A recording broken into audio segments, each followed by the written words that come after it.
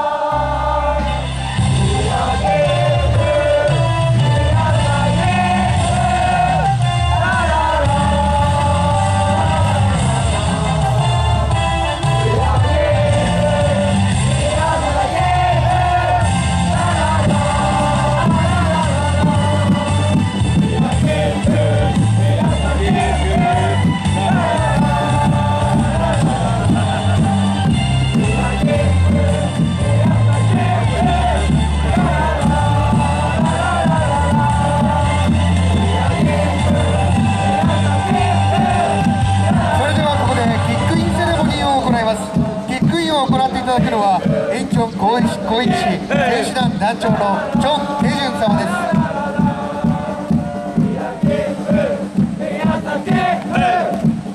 それではチョン・テジュン様よろしくお願いいたします。ナイスキーチョン・テジュン様ありがとうございました。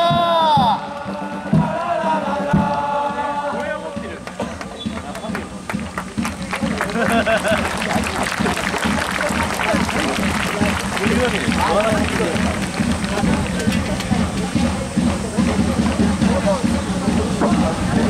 しゃやカムち